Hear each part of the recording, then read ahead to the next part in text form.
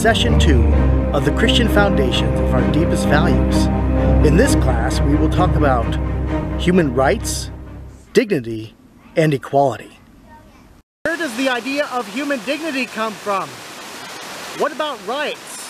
What sort of cultures do we find these concepts in? And what about equality? Is that an idea that's unique to particular cultures? Or is it natural? Do we find it in every culture? Rights, equality, dignity, where do these ideas emerge that we take so much for granted? Where do human rights come from, turtles? Can you tell me? Hello, Mr. Duck. Do you have any rights? Do you think I have any rights? If I do have rights, where do those rights come from? What is the basis for their existence? What is the foundation stone upon which they rest? Where do rights come from? Where do you think rights come from?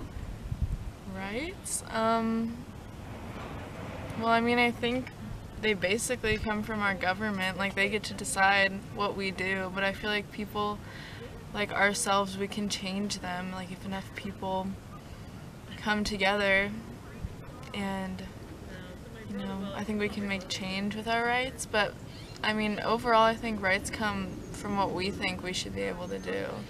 And like we've been able to change certain rights that we've been able to have. So I think they all stem from what we think we should be able to do, but in the end, it's basically wherever we live, our government deciding okay. what we need to do. Okay, thank you. Do rights come from justice, or does justice come from rights? Are rights natural or are they socially or politically conferred? What we find when we look at different cultural traditions throughout history is that many of the rights that we take for granted as basic are actually highly contentious and controversial over time and throughout different places.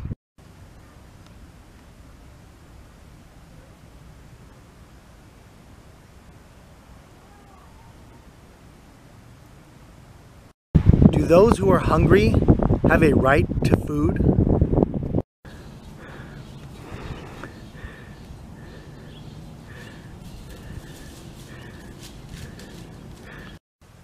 Does a berry have a right to not be eaten? Do I have a right to not be eaten? What about a chicken? Does a chicken have a right to not be eaten? What about a cow what about a monkey? What about a dolphin? Do I have a right to peace and quiet when I'm hiking in the wilderness?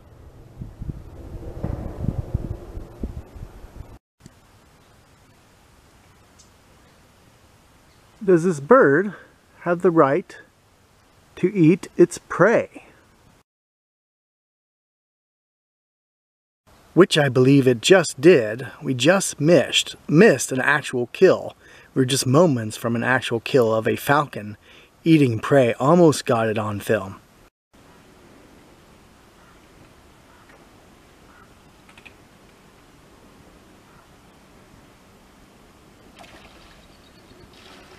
In the case of the hawk hunting and eating the sparrow, it would seem that might, might makes right that because the hawk or falcon has the ability or the strength to kill and eat its prey, that that is all the right in the world that it needs.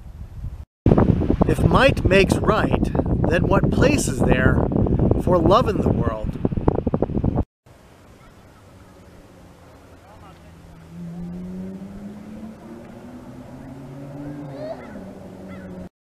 If rights come from government, Perhaps we can understand them better by looking at how different governments in different cultures have granted rights throughout history. We can understand how rights have been established and how rights have changed to see whether there are any rights that are constant. We can begin our discussion of rights by looking at Documents such as the Universal Declaration of Human Rights, which is one of the founding documents of the United Nations. And this was a document that was um, a declaration issued by uh, multiple nations, multiple cultures after World War II. The Universal Declaration of Human Rights begins by declaring that the inherent dignity of all members of the human family is the foundation of freedom, justice, and peace in the world. It then reaffirms the faith that the charter members of the United Nations have in fundamental human rights, in the dignity and worth of the human person, and in the equal rights of men and women. And so here we have the beginning. We can look at this and think about how they start this document, this foundational document. They start it by declaring in a leap of faith, essentially, that humans have inherent dignity, that humans are of one family, and this is the foundation for all the rights which they then list. The rights that they list include 30 different articles that specify a number of freedoms, a number of rights, and uh, the first one is that all humans are born free and equal in dignity and in rights. It continues to say they are endowed with reason and conscience and should act towards one another in a spirit of brotherhood. When we look closely at Article 1, again, we can see this assumption that humans are born equal in dignity and rights. They don't try to tell you why, right? They just declare it. Second article says everyone is entitled to all the rights and freedoms that are specified in this document, in the Declaration, without any sort of distinction that is based on race, color, sex, language, religion, political, or other opinion, national or social origin, property, birth, or other status. Furthermore, no distinction shall be made on the basis of the political or international status of the country, and so on. And so it specifies that all humans are equal, that everyone, everyone has these rights equally, regardless of who they are. All human beings have a fundamental equality, and this is an assumption. This is a this is their starting point. They don't try to justify this. They don't try to tell you what their authority is for saying such a thing. Three, everyone has a right to life, a right to liberty and security of their person. Four says that no one shall ever be made the slave of anyone else. No one shall be held in slavery or servitude. And it continues to say slavery and the slave trade shall be prohibited in all their forms. Article 5 says no one is supposed to be subjected, no one shall be subjected to torture or cruel, inhuman, degrading treatment.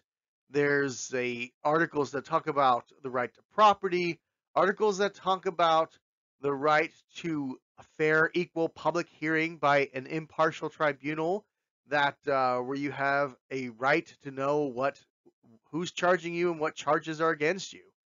And uh, this continues for 30 articles. I'm not going to list them all. But the point here is the fundamental foundation of this document, the authority on which it is based, is not given. The Universal Declaration of Human Rights rests on a higher authority. But what exactly is that higher authority? The Declaration never tells us. It just assumes it. In 1982, the United Nations representative to the UN from Iran referred to the Un Universal Declaration of Human Rights as a secularized understanding of the Judeo-Christian tradition, and he said it is impossible for Muslims to implement this declaration without contravening and contradicting Islamic law. This representative to the United Nations from Iran was actually onto something. One of the key persons who crafted the United, the, the uh, Universal Declaration of Human Rights for the UN was a man by the name of Charles Malik, who was a devout Lebanese Christian of Arab descent and uh, Near Eastern, and he explicitly framed in his language, in working on the Declaration, the, the language uh, to, to match Judeo-Christian norms with regard to value. Many scholars have commented how belief in human rights today is a sort of secularized religion. That um, when we search for a foundation for such a belief, it comes up wanting.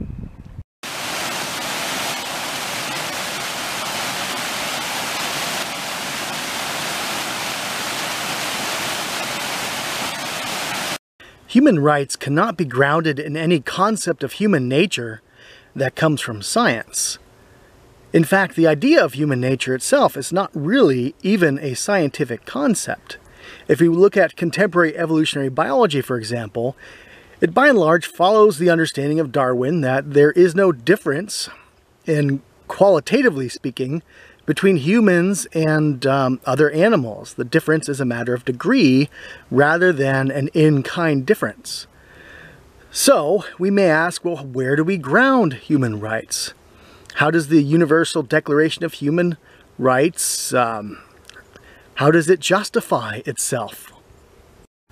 What is needed to ground the concept of human rights is a high view of humanity, or what is often called a high anthropology, anthropology a, an anthropology that uh, sees humans as exalted in some way by the very fact of their being human.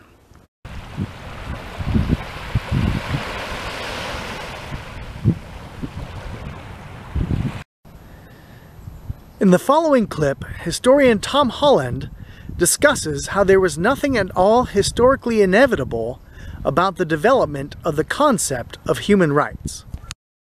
Um, said to me, especially by, by humanist friends, they will they will say, um, um, obviously Christianity has played a part in Western liberal values, um, but uh, even without Jesus Christ, we, we would have gotten to where we've gotten to.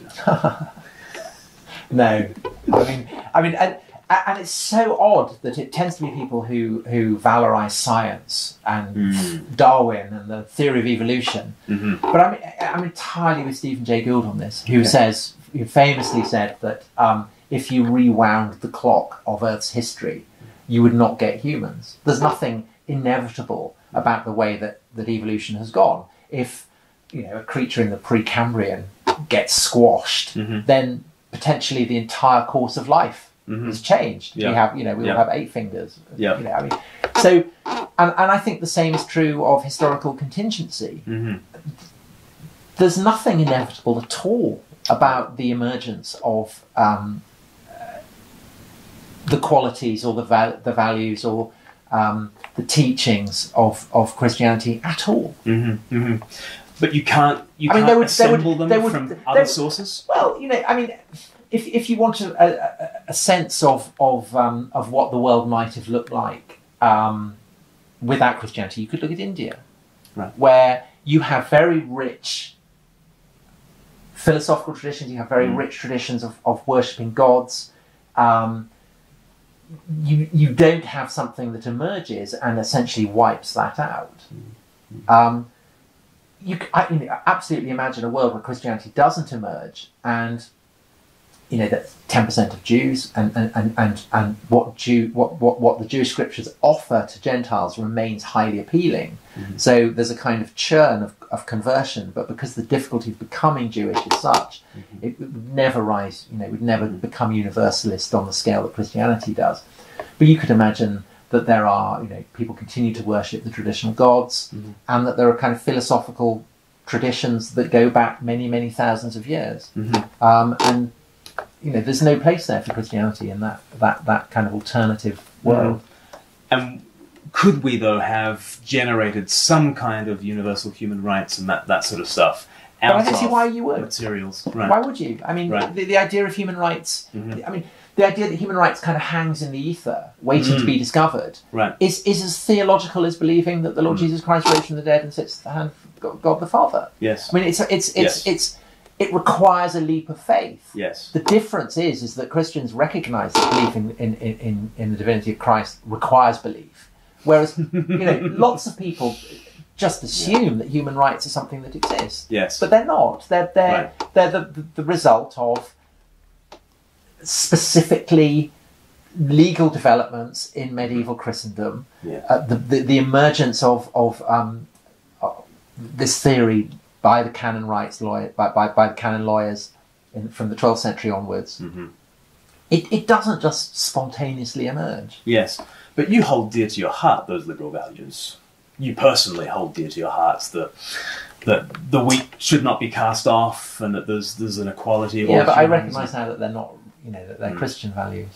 Yes, yes, And of course, the what it opens up is the is the recognition that that actually, without Christian faith, Mm. then w- ultimately, what is the underpinning for that? yes, and the, the, the kind of idea of uh, that, that, that humanists propagate that somehow science proves this i mean it seems to me grotesque right. you know science science is a mirror in which you see what you want to see reflected back Yes. so the nazis use science to justify you know racial genocide scientific and racism. liberals use it to justify uh, you know let's you know hug the world Yes, but both of them Yeah. reflect the cultural yes, prejudices of the, the, the people who are looking in that mirror of science Therefore, do you worry about Western civilization going forwards if, I mean, certainly the church is exploding in places like China and in other places in South America and Africa, but here in the West, it's on the wane. Do you worry that these Well, I think, values I going? think, I mean, I've been thinking a lot about this. I think what's happened is, I mean, Christianity was as vibrant as it has ever been. It's deeply held um, in, in, in the years of the First World War. Mm. It did not precipitate a, a collapse in faith. If anything, it, it, it, it consolidated it. Mm. And in the years that followed the Second World War, again, there was very, very high uh, religious commitment.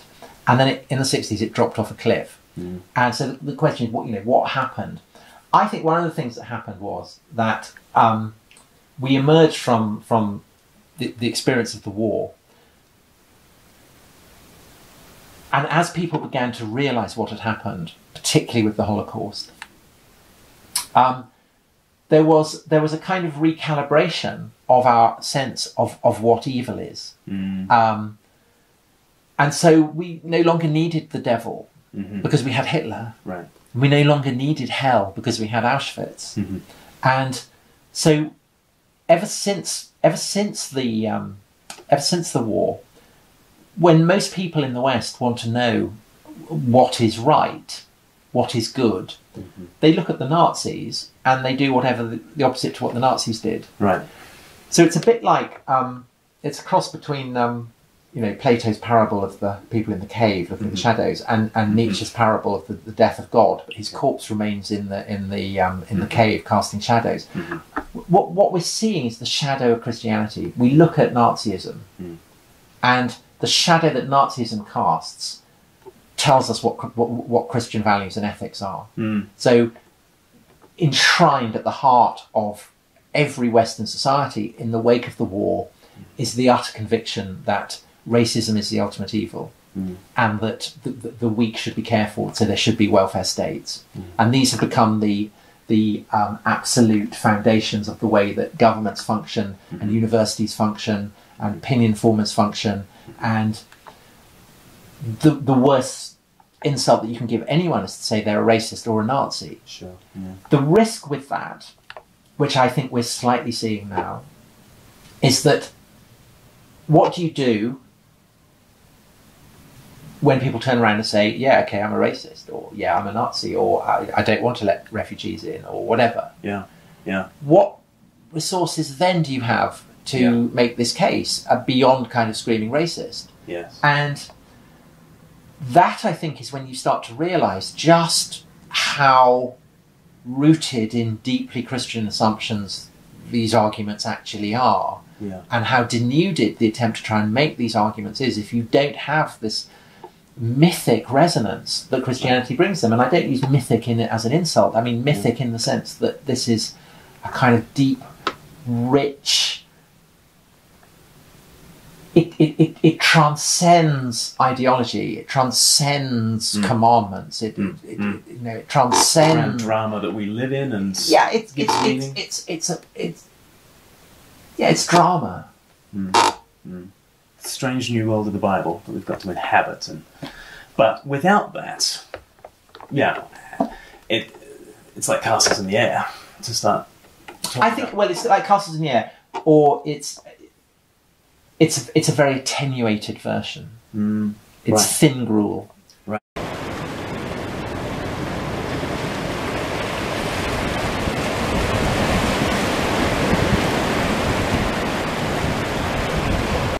Belief in human rights requires taking a leap of faith.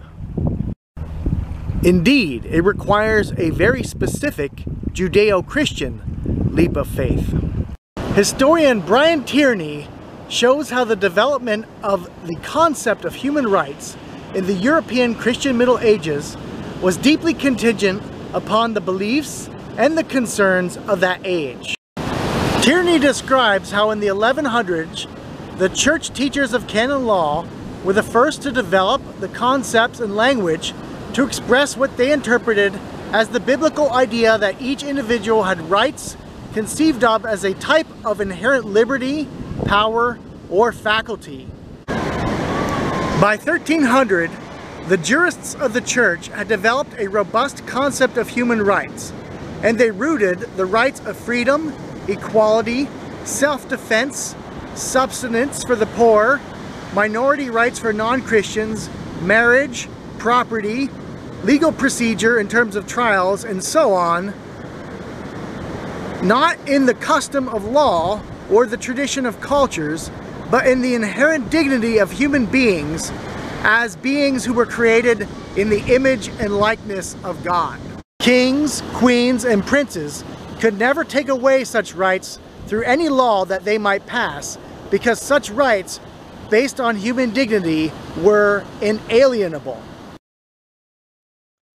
One finds this medieval Christian concept of unalienable rights clearly in the United States Declaration of Independence, which says, We hold these truths to be self evident that all men are created equal, that they are endowed by their Creator with certain unalienable rights.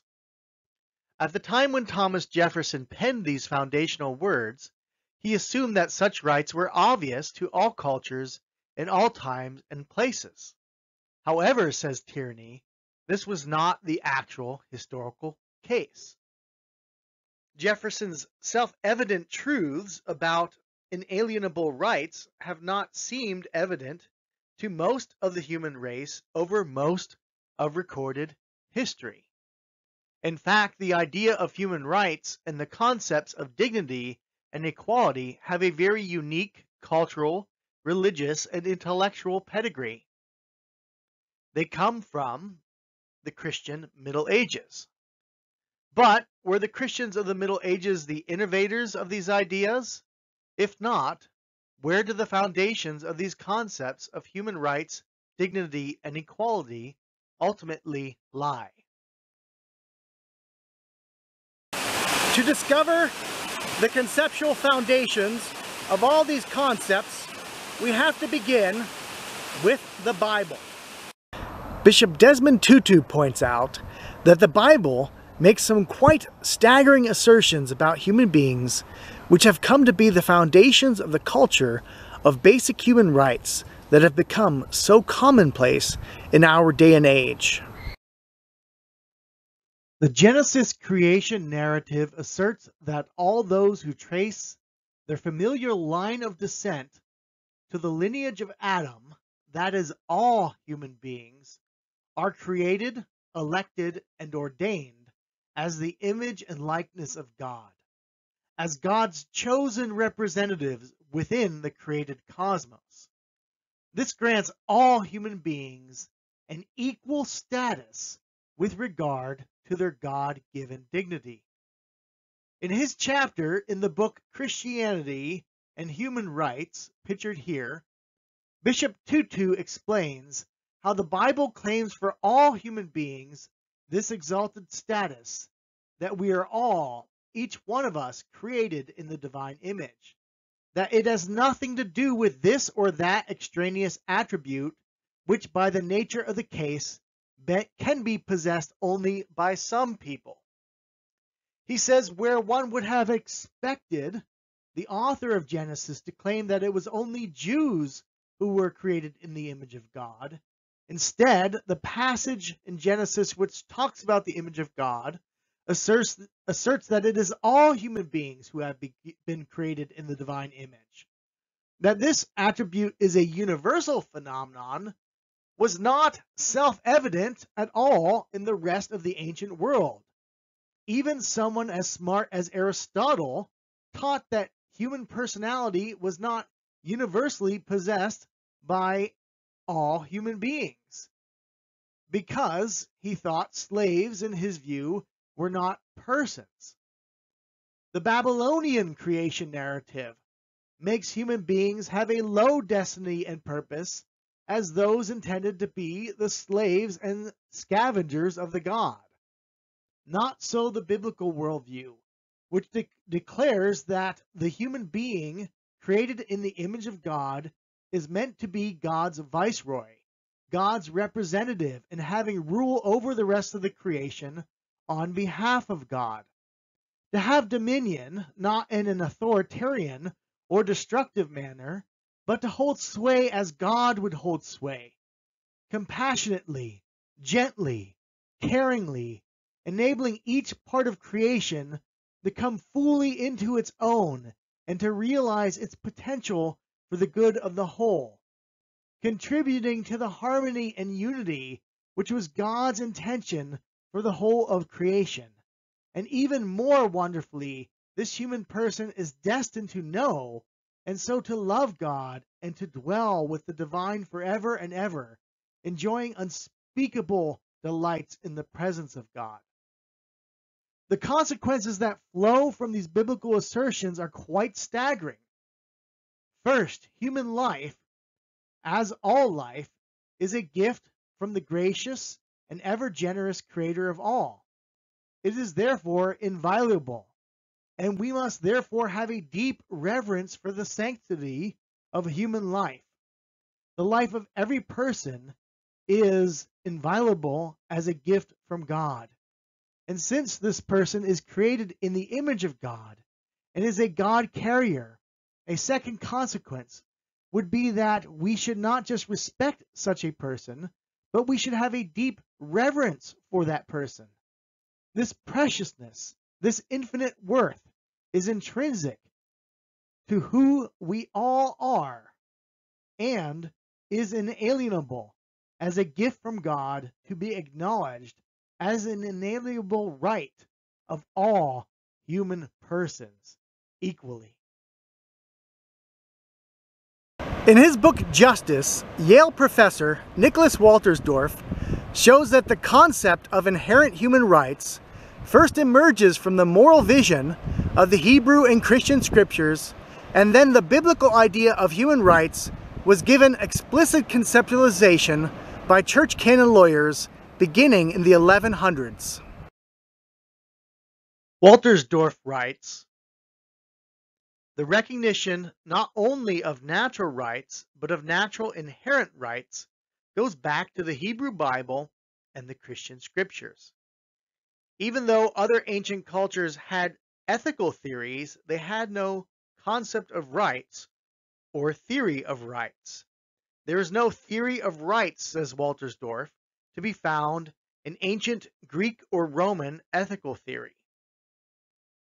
It is only when this idea of rights from the Bible gets incorporated into the thought of the early church fathers that we have the emergence of a true theory of rights. The incursion of Scripture into the thought world of late antiquity made possible the rights culture that we are all familiar with today. Thank you for joining us today for our discussion of human rights, dignity, and equality. and I hope you can join us next time as we continue our conversation.